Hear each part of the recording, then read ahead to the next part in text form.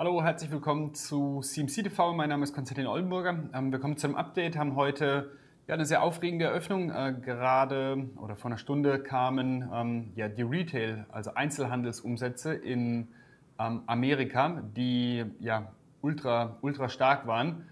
Letztendlich, dass sie sehr stark ausfallen würden, äh, sollte nicht verwundern. Es gibt äh, sehr viel ja, Stimulus und auch ja, diese Schecks, die dementsprechend an die US-Haushalte ähm, gegeben wurden, ja, sodass eben äh, diese Schecks nicht für, für Miete oder nötige Sachen ähm, benutzt wurden, sondern für den Konsum, ähm, was dementsprechend der amerikanischen Natur dann entsprechen würde, ja, würde dieses Szenario dieser starken Zahlen ähm, ja, sehr begrüßen. Nach diesen Zahlen letztendlich eine Dollarstärke, die wir aktuell sehen, auch die Renditen, die hochgehen. Ähm, daraufhin ja eine sehr unsichere Vorbörse in den Aktien. Äh, wir haben äh, Schwankungen dementsprechend ähm, im, im US 30 aktuell. Äh, Im Moment ähm, ja, leicht schwächer als äh, gestern. Äh, wir haben ebenfalls eine starke Bewegung gerade im Ölpreis. Wir hatten jetzt ähm, fast dieses 161er Extensionslevel ähm, erreicht, also im US Brent, welches wir jetzt die Tage äh, schon anfixiert hatten. Äh, dazu dann gleich ähm, ein Wort, ähm, inwieweit dort ähm, ja, diese Zone eben erreicht wurde und worauf man dann achten sollte in den nächsten Tagen. Und ja, wir haben den Bitcoin, der sich weiter vorkämpft äh, in diese Extensionsmarke. Heute wiederum ein neues Allzeithoch. Ich meine, wir waren vorhin bei 51.500, aber wir werden das gleich ebenfalls nochmal anschauen, wie es dort ausschaut. Und ja, soweit dann die Vorab- ähm, Erläuterungen. Wenn Fragen sind, gerne über den Chat einfach den Wert oder die Frage posten. Äh, dann können wir uns das Ganze zusammen anschauen. Okay, kommen wir zum, zum Chart und äh, schauen uns die ähm, Vorbörse an. Also im, in den Indizes ja relativ wenig Bewegung jetzt in, in dieser Handelswoche. Wir hatten ja am Montag den äh, Feiertag in Amerika. Äh, dort hat praktisch die Vorbörse ja schon alles vorweggenommen. Wir hatten jetzt keine höheren ähm, Kurse mehr im Kassamarkt gestern. Und äh, ja, die Frage mit dem Hoch, die sich stellt, hatten wir jetzt gestern nochmals äh, versucht zusammenzufassen. Ähm, hier geht es einfach um das Tief vom Monatswechsel, also vom ähm, 1. Februar und ob wir vom Tiefpunkt eben hier eine Fünfer-Bewegung möglicherweise äh, vollendet haben. Ähm, mit diesem Anstieg jetzt in der in dieser Woche, beziehungsweise auch mit dem Feiertag, äh, dass wir dementsprechend hier äh, dieses hochgesetzt haben in der Welle 5, also ein kompletter Impuls.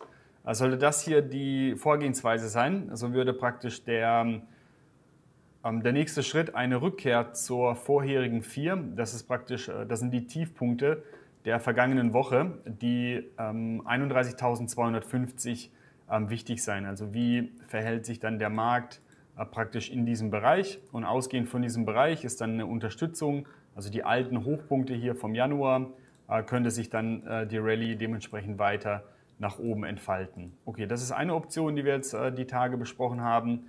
Die zweite Option ist, dass wir bereits mit dem Hoch hier am Freitag einen solchen Impuls praktisch hinter uns gebracht haben. Und wir hatten jetzt ähm, genau Donnerstag und Freitag diesen kleinen Rücksetzer und dann eben diesen Anstieg äh, in die neue Handelswoche, hatten wir gerade äh, besprochen. Okay, jetzt kann man sich praktisch diesen Anstieg separat betrachten und nur, und nur diesen ähm, Anstieg hier äh, bewerten. Und hier ist es jetzt wichtig, dass das Retracement, also im Idealfall zwischen dem 38er und 61er Retracement, da befinden wir uns jetzt gerade am 61er, äh, möglichst verteidigt wird. Also diese Zone ähm, ja, für, den, für die Handelseröffnung und dann über den Tag ähm, sehr wichtig für, ja, für eine kurzfristigere Strategie, beziehungsweise um eben mit den Tiefpunkten der vergangenen Woche hier ähm, arbeiten zu können. Und ähm, sollte dieser Bereich halten, würde dementsprechend ein höheres ähm, Tief hier etabliert und die Reise auf die Oberseite würde sich dann dementsprechend ähm, fortsetzen. Okay, äh, die zweite Alternative oder die dritte besser gesagt, die wir da noch angesprochen äh, haben, ist, dass hier eine Welle 4 läuft sozusagen, sprich, dass wir mit dem Hoch ähm, eine 3 ähm, nicht äh, vergangene Woche, sondern mit dem Anstieg heute oder ähm, jetzt am Montag äh, finalisiert haben. Und dieser aktuelle Rücklauf ebenfalls dann wichtig über den Support, über die 31.2 äh, finalisieren für ein weiteres Hoch, ähm, was dann zunächst den ähm, Anstieg dann von, vom 1. Februar beendet. Also letztendlich ähm, unterscheiden sich diese drei Varianten aktuell. Ähm, in dem Sinne äh, bekommen wir nochmal einen Retest eben dieser ähm, 31.200 oder reicht bereits dieses 61er Retracement, äh, um diesen Anstieg aktuell dann fortzusetzen. Okay, für einen größeren Trendumschwung, ähm, ja, hin und wieder liest man ja, dass jetzt ein Crash oder ähnliches ähm, droht. Ähm, ja, da muss man sich gedulden. Letztendlich, wir haben seit der Corona-Krise oder seit diesem Corona-Abverkauf, sollte man es ja nennen, äh, weiterhin steigende Hoch- und steigende Tiefpunkte, sodass der Aufwärtstrend äh, völlig intakt ist. Und für eine große Trendumkehr, da hatten wir jetzt zum Jahresbeginn ähm, eine gewisse Chance, äh, einen tieferen Rücksetzer, gar nicht Crash, aber einen tieferen Rücksetzer zu etablieren, haben wir im Moment ausgelassen, sodass praktisch dieses Jahrestief hier ähm, den aktuellen Aufwärtstrend definiert. Und solange wir da drüber sind, ähm, selbst wenn wir zurückkommen in Richtung 30,8 und ähnliches, also in diesen Raum, ähm, ist ja immer noch ähm, die, die Situation so vorhanden, dass wir einen Anstieg haben, sogar ein höheres Hoch und dann eben ein Retracement äh, im Moment dann ähm, tätigen. Und sodass der große Aufwärtstrend noch nicht gefährdet wäre und ähm, ja weiterhin dann steigende Kurse angenommen werden können. Und ähm, ja, soweit wird es dann weiter verfolgt, ähm, bis, bis sich dann die Wellen dann komplett ähm, ausgebreitet haben. Okay, kommen wir zum Germany 30. Was geht äh, dort, beziehungsweise was ist passiert? Hier weiterhin ebenfalls die Frage, ob der Anstieg, genau wie im Dow vom, vom Monatswechsel hier, ähm, ja, vollständig ist, also ob wir praktisch hier einen äh, vollständigen Anstieg haben. So, dann hatten wir letzte Woche eine Dreierbewegung, die sich hier vollendete und wir könnten dann ähm, direkt mit dem nächsten Anstieg beginnen. Ähm, eine weitere Option wäre, dass hier, ähm, dass hier einfach eine Welle 4 ähm, etabliert wurde letzte Woche, also so. Oh, das war das Falsche. Also vom Tiefpunkt eben Rallye, dann das Retracement, nochmal Rallye. Ähm, na, jetzt warum will ich? So. Also diese Dreierbewegung und wir haben kein Overlap, also keine Überschneidung von 1 und 4, sodass dann der Trend intakt wäre für ein weiteres ähm, Hoch, bevor dann eben wiederum ähm, eine kleine Korrektur entsteht. Und aktuell ähm, haben wir einen Anstieg, der, ja, der wirklich hier eigentlich kurz vom, kurz vom Retest hier steht, weil vom Tiefpunkt haben wir hier einen Anstieg, Gegenbewegung, Anstieg. Und um diese Situation eben zu vermeiden, sollte dieses Zwischentief, was ähm, zu Wochenbeginn, also am Montag hier gesetzt wurde, möglichst verteidigt werden. Also wir waren heute Morgen nah dran, im Moment hält die Zone und das sollte dann dementsprechend auch ähm, für, für den restlichen Handelstag ähm, gelten. Ansonsten würde eben diese Dreierbewegung ähm, ja, vakant oder sich durchsetzen und ein Retest dieses Tiefs vom 10. Äh, Februar zunächst anstehen. Und dann haben wir halt wiederum die gleiche Situation. Hier Support. Ähm, diese Zone gilt es dann eben zu verteidigen für einen weiteren ähm, Anstieg. Und auch im Germany 30, also Crash, ja, nein.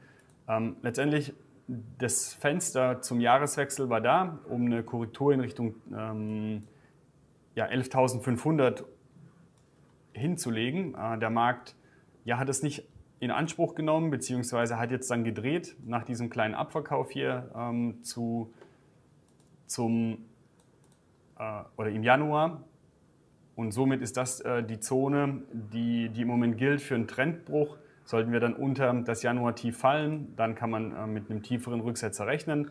Ansonsten ähm, ist praktisch diese Zone immer noch im Retracement, sodass eben dann steigende Kurse ähm, ja, weiterhin den Vorrang haben. Trend ist nicht äh, gebrochen auf irgendeine Weise. Okay, das werden wir uns dann weiter anschauen, inwieweit äh, ja, das Tief hier von vergangener Woche und dann auch das aktuelle Allzeithoch dann noch halten ähm, ja, für diesen für diesen Anstieg. Okay, kommen wir zum ja, für mich im Moment ähm, sehr spannenden und wichtigen äh, Teil. Das ist der Euro-Dollar oder der Dollar im Allgemeinen. Und wir haben jetzt ähm, ja, diese tiefere Zone des Retracements. Und im Euro geht es um Folgendes, dass wir eben vom Hochpunkt kommt, ähm, ja, diese Dreierbewegung hatten und ähm, ja, perfekt eben am 50er Retracement allgemein äh, von, der, von der Bewegung seit der US-Wahl und an diesen alten Hochpunkten aus dem Sommer einen Support gefunden haben. Okay, seitdem eben ein Rallye in den Widerstand und diese Woche die Korrektur. Und jetzt fragt man sich, aha, was, will, was macht denn der äh, Euro jetzt? Und hier gibt es jetzt dementsprechend die Alles- oder Nichts-Situation äh, für den Euro für eine direkte bullische ähm, Auflösung. Und zwar haben wir jetzt heute genau das 61er Retracement erreicht, also Trader Stream. In dem Falle sollte sich, dieses, ähm, sollte sich dieser Bereich eben als Support ähm, definieren. Äh, diesen Support oder dieses äh, Retracement äh, lässt sich handeln eben gegen das Tief. Warum? Man möchte eben dann diese Fünferbewegung nach oben handeln und diese Dreierbewegung war dann die Korrektur. Und ausgehend äh, von diesem äh, Support eben würde sich eine neue Trendbewegung entweder in einer Welle 5 oder in einer neuen äh, Welle äh, 3 dann ausüben, die uns in Richtung 1, also zunächst auf das Hoch eben, auf die 2350 und dann später auf die äh, nächsten äh, vollen Ziffern, 24, 25, 26 etc. Äh, bringen sollte. Und ähm, als Mindestziel dementsprechend äh, ja, dieses Hoch, dass wir den Hochpunkt aus dem Februar 18 dann rausnehmen. Und ähm, das ist der Rücksetzer, der praktisch diese direkte Long-Chance oder Möglichkeit hier äh, gibt. Diese Situation sollte äh, gewahrt werden. Ansonsten für die Klassik-Fans, ähm, äh, mit Klassik meine ich natürlich ähm, Chartformationen. Auch hier eine mögliche ähm, Schulter-Kopf-Schulter kann man sich anschauen. Äh, die wird über 21,70 aktiviert, also hier linke Schulter, äh, das Tief dann dementsprechend hier die rechte, äh, der Kopf und dann dieser aktuelle Tiefpunkt wäre dann dementsprechend die rechte Schulter über den Stunden- und Vier-Stunden-Chart und ähm, wie gesagt, da oben bei 21,70 wäre die Nackenlinie, die mit einem Überschreiten tatsächlich diese Formation aktiviert. Kann man ebenfalls sich anschauen. Ähm, äh, gleichzeitig eben mit diesem 61er Retracement bei 1,2033. Okay, und übergeordnet ähm, sollte praktisch dieses Tief dann nicht mehr unterschritten werden, äh, würde ich äh, wie folgt fortfahren, dass wir eben seit der US-Wahl einen Impuls gesehen haben, der, der sogar nicht die 5 äh, zu Ende bringt, sondern eine neue Welle 1 startet. Ich würde dann mit dem Top hier im August eine 1 äh, dafür versehen, ähm, einfach für diejenigen, die sich interessieren. Ähm, in, diesem, in dieser Korrektur dann im Sommer und in die US-Wahl die Welle 2, sodass uns äh, in diesem Jahr sogar ein, eine krasse Dollarschwäche ähm, begegnen soll. Ähm, die sollte so oder so eigentlich starten, äh, wird dann vorgezogen höchstwahrscheinlich und hier würde sich dann diese Idee als 1, 2 für eine große, große 3 dann hier stellen, die uns in Richtung 1,40 dann äh, bringen kann in den nächsten Monaten. Und dafür ist dann die Bedingung eben da, äh, dass dieses Tief vom 4. Februar nicht mehr unterschritten wird. Und deswegen ist praktisch dieses Retracement hier der ideale ähm, Zeitpunkt. Okay, soweit zum Dollar. Also super, super wichtig, was an diesem Retracement passiert. In dem Sinne super wichtig. Die zweite Idee, dass hier eine Dreierbewegung eben fertig ist. Wir haben äh, das Retracement in den Widerstand ideal und hier würde dann ein tieferer Rücksetzer folgen. Äh, Im Idealfall wird sogar das Wahltief dann rausgenommen. Das ist einfach die konträre ähm, Idee dazu. Ähm, das definiert sich praktisch über den Tiefpunkt vom vierten. Okay, so viel dazu. Dann genau ein Blick auf Gold. Heute bereits das neue Tief. Also soweit ähm, folgt der Goldpreis ähm, ja, der Idee. Abwärtstrend ist immer noch ähm, intakt. Und jetzt wird es spannend. Also sollte der Euro diese Chance oder dieses Fenster nutzen, diesen Support auszuführen oder zu nutzen, äh, stellt sich dann natürlich immer die Frage, aha, Gold soll ja dann extrem, äh, Gold, der Euro soll ja dann extrem stärker werden gegen den Dollar. Ähm, wie würde sich das Gold ähm, verhalten? In dem Sinne macht ein Vergleich Sinn, weil eben Gold hauptsächlich in Dollar gehandelt wird, sodass hier diese Komponente äh, sehr wichtig ist. Und ja, jetzt hier die Frage äh, für, für Gold, ob dementsprechend diese Bewegung tatsächlich letztes Jahr so fertiggestellt wurde. Es wäre noch die Möglichkeit, dass die Bewegung hier äh, mit dem heutigen Tief sogar oder mit dem heutigen Tief, es gibt vielleicht sogar ein Reversal, da auf die Tageskerze dann achten, äh, ob es dann mit diesem Tief hier fertiggestellt werden kann. Einfach als ähm, Fake, nicht Fake, aber als äh, erhöhte C. Ähm, an der Grundausrichtung, dass hier eine Schulterkopf-Schulter ähm, herrscht, wäre nichts äh, geändert. Hierzu ist ja die Bedingung, dass wir über die 1960 steigen. Das ist somit äh, sehr weit weg. Ähm, das zweite wäre, die 1875 müssen wir übersteigen, damit sich hier was Bullisches ergibt. Und wir können jetzt so weit gehen, sogar mit dem neuen Tief, dass wir eben die Hochpunkte von gestern bereits markieren. Ich meine, im Bereich 1850 sollte das hier gewesen sein. Da ist sogar schon ähm, äh, diese Linie hier vom alten Tief. Äh, über die 1850 sollte der Markt dementsprechend jetzt steigen, damit eben dieser kurzfristige Abwärtstrend gebrochen ist, sodass wir im Gold dann ja eine Rallye erleben. Und hier gilt es jetzt wirklich einfach nur, diesen Tiefpunkt äh, vom November zu beobachten und was sich dann praktisch heute und in den nächsten Tagen äh, hier ergibt.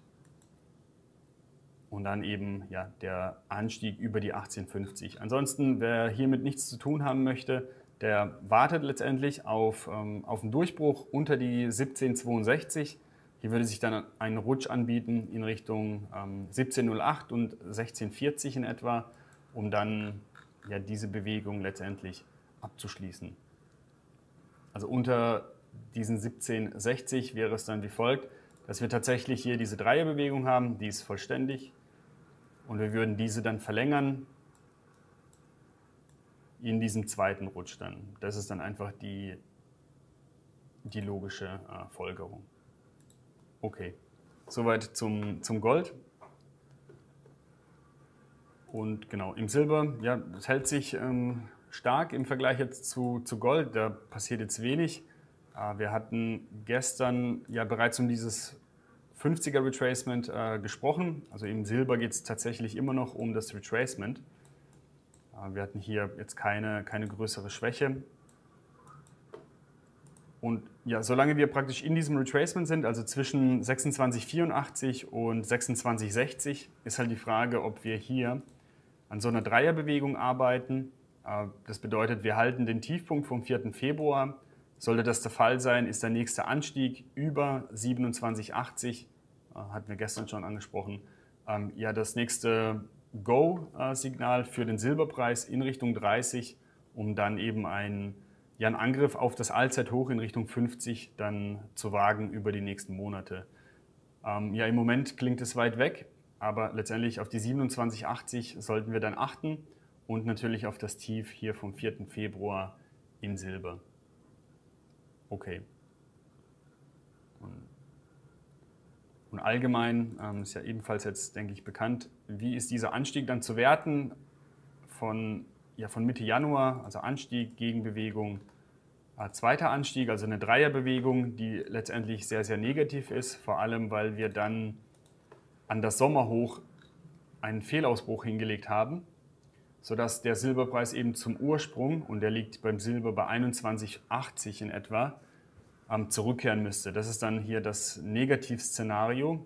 Ähm, ja, sollte der Markt diese Unterstützung äh, bei 25 80 dann aufgeben. Und genau das gilt es dann jetzt zu beobachten und diese Varianten äh, gegeneinander abzuwägen. Okay. Gut, dann nochmal ein Blick auf den Bitcoin. Ähm, ich mache nochmal den großen Chart auf. Tageschart ist wahrscheinlich am besten.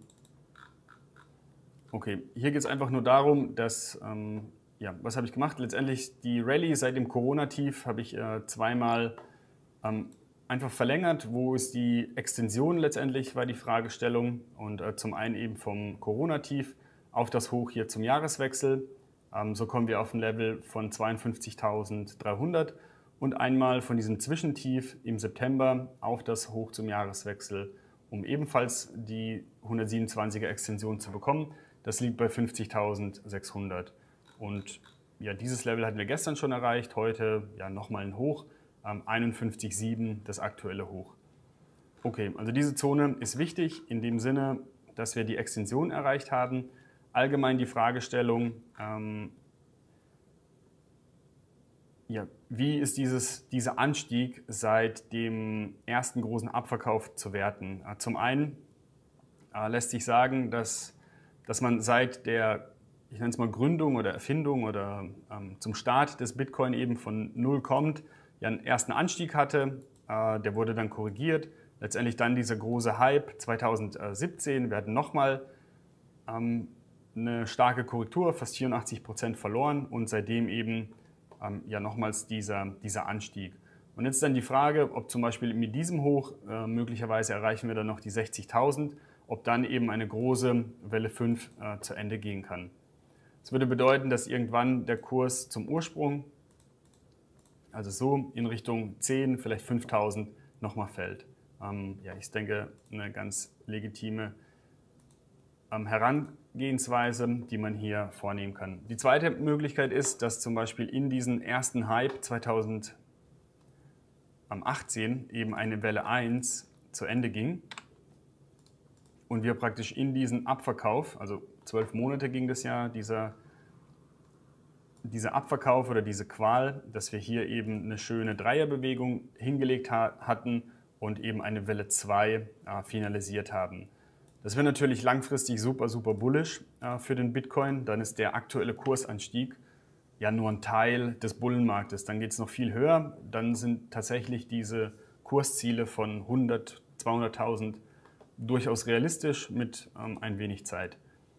Okay, dann ja, würde sich praktisch diese 1-2 natürlich auflösen in eine, in eine große äh, Bewegung. Da würde praktisch hier eine Welle 1 gehen, in das Corona-Tief eine 2, werden hier äh, mit dem Hoch eine mögliche 3, würden mit einer kleinen Korrektur äh, in Richtung 42, vielleicht etwas tiefer eine 4 bekommen und dann eben einen weiteren Anstieg, um diesen Anstieg abzuschließen. So wäre ebenfalls eine, eine mögliche ähm, Variante äh, vorstellbar. Ähm, soll aber nicht um die Varianten äh, allgemein gehen, sondern aktuell, dass wir hier eine Extension erreichen. Und ähm, ja, in diesem Bereich gilt es den Bitcoin wiederum äh, zu beobachten, äh, wie er sich verhält, ob es vielleicht ähm, ja, Umkehrsignale gibt, vielleicht äh, in Kerzenform. Äh, was man jetzt schon sehen kann, ist, dass im Tag eine kleine Divergenz entsteht zum Hoch am Jahresbeginn und ähm, ja, diese Situation äh, sollte man dann beobachten erstmal.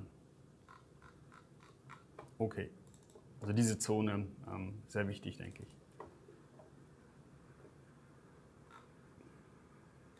Okay, dann hat der Markt ähm, eröffnet.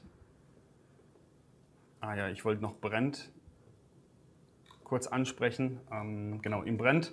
Also es hat ein paar Cent gefehlt, aber äh, letztendlich die, die Bewegung ist durchaus ähm, ja, ruckartig, deswegen da dann ja höchste oder Interesse eben. Ähm,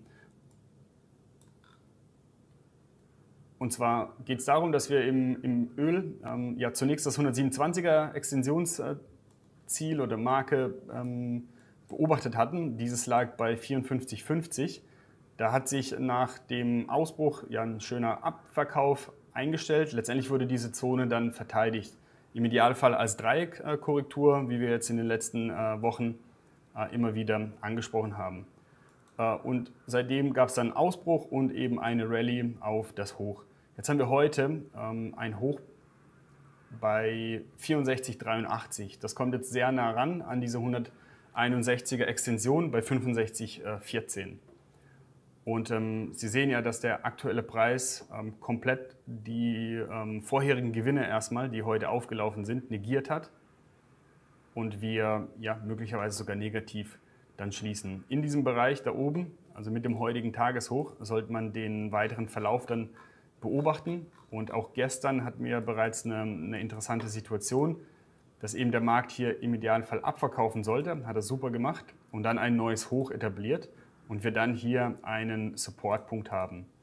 Und in diesen Supportpunkt laufen wir jetzt. Also ein bisschen tiefer soll es noch gehen. Und hier wird es jetzt interessant sein, wenn der Markt praktisch diesen Punkt bricht und wie er dann die Gegenbewegung gestaltet. Und in dieser Gegenbewegung liegt dann eben die Chance,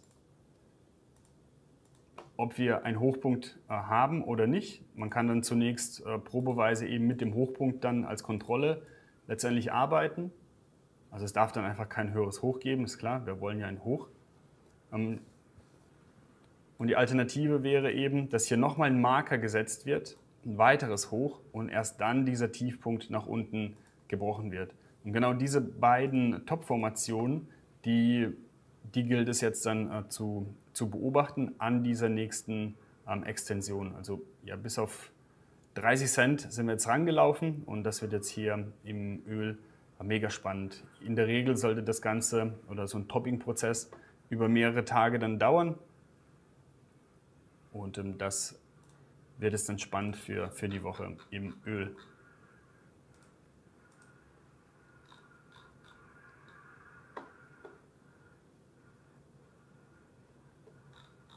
Okay, soweit äh, die allgemeinen Updates erstmal. Ich schaue noch mal kurz auf Fragen.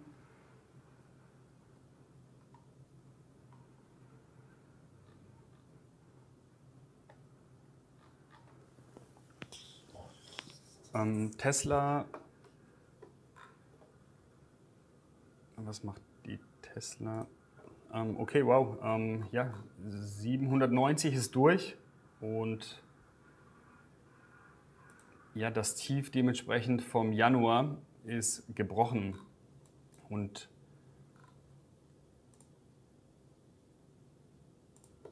okay, welche Möglichkeiten gibt es? Letztendlich, wer Short ist bereits, also wer zum Beispiel die, diesen Anstieg hier irgendwo ähm, Short gehandelt hat, mit dem Stop dementsprechend auf dem Januar hoch, der hat auch weiterhin das Januar hoch als Kontrollmarke. Ähm, solange wir da nicht drüber gehen, ist in der Tesla ein, ein großes Top entstanden, wie bereits ja, seit Anfang des Jahres äh, besprochen. Äh, mit dem Erreichen dieser 161er Extension ähm, ja, wäre praktisch die, die Zielerreichung erstmal gegeben, sodass sich in der Tesla ähm, ja, fast eine Halbierung äh, dann einstellen kann. Und jetzt kurzfristig gilt es noch folgende Frage dann zu beantworten. Seit dem Hoch ist die Frage dementsprechend, ob wir diese Situation vielleicht noch haben dass eben genau in diesen 780, letztendlich kommt es darauf an, wie das Ganze hier schließt, ob diese Dreierbewegung dann gilt, ob man das praktisch long handeln kann. Die Frage ist, wo wäre ein sinnvoller Stop zu setzen für diese Option? Und ein sinnvoller Stop für Longs wäre dann im, im Stundenchart zum Beispiel die letzte äh, größere Korrektur. Das war dann hier damit könnte man äh, sogar eine Long-Option äh, generieren, dass man praktisch diesen Weg als Risiko nimmt für eine neue Rallye-Bewegung, die sich dann Minimum um die gleiche Strecke nach oben für ein neues Allzeithoch dann etabliert. Okay, das wäre noch eine mögliche bullische Idee. Einfach hier diese Dreierbewegung vom Hoch. Letztendlich lässt sich das auch ähm, so ableiten, ähm, ist, ist letztendlich nicht entscheidend, ob vom Hoch am 8. Januar oder am 25. Januar diese Dreierbewegung genannt wird. Wichtig ist, dass die 780 möglichst verteidigt werden. Ansonsten für Shorts, ähm, ja, da läuft es in dem Sinne, dass wir eben ja, diesen Abverkauf haben. Wir haben die Gegenbewegung zum ersten Mal ein tieferes Hoch und seitdem dementsprechend geht es so weiter. Ähm, Abverkauf, tieferes Hoch. Abverkauf, tieferes Hoch. Abverkauf, tieferes Hoch. Abverkauf. Und äh, kurzfristig, wer dementsprechend so agiert, Das sind die letzten beiden tieferen Hochs und die definieren dann dementsprechend einen Abwärtstrend. Solange wir da drunter halten, handeln, also unter die 830, somit kann man das nachziehen, einen Kontrollpunkt, ähm, wäre das bärische Szenario weiter möglich und am Leben. Okay, das zu der Tesla. Aber allgemein nochmals zum Wochenchart.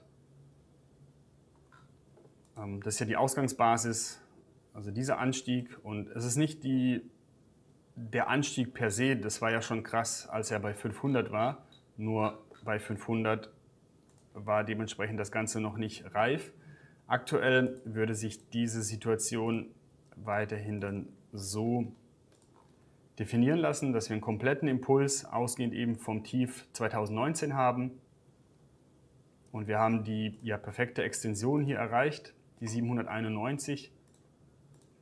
Und somit kann hier mit einer Top-Bildung, die wir möglicherweise hier haben, ein Rücklauf in Richtung 500, sogar in Richtung 350 in der Tesla ähm, möglich sein.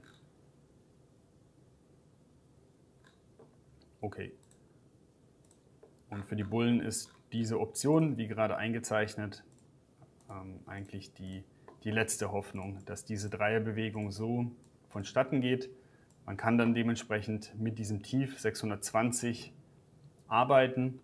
Ähm, wer das Ganze so nicht möchte, der sollte dann eher das hochnehmen, ähm, um den Abstand nicht so groß werden zu lassen. Hier liegt der Bereich bei 684.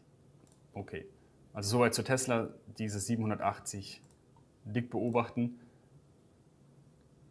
Und der kurzfristige Abwärtstrend, der ist mit 830 ähm, definiert. Okay, ähm, ja, ich, oder man bekommt auch Fragen, vielleicht nochmals zur Erläuterung. Ähm, ja, wie kann die Tesla auf 300 oder egal wohin fallen, wenn der Markt potenziell ähm, ja weiterhin bullish ist? Ähm, letztendlich hat der Markt mit der Tesla nichts zu tun. Es gibt ja auch in einem steigenden Markt zum Beispiel Outperformer, also irgendeine Aktie macht ähm, 500 Prozent, der breite Markt macht 20 Prozent, äh, sodass es immer Outperformer gibt ähm, und einzelne Aktien können auch fallen, obwohl der Markt steigt und auch andersrum. Deswegen ja, ist jeder Wert für sich äh, zu sehen und ähm, ja, wenn man einen Grund sucht, ähm, der was Handfestes bietet, ähm, kann man vielleicht die, den Wettbewerb ähm, nennen, dass eben alle Autohersteller jetzt Elektroautos bauen und nicht nur Tesla.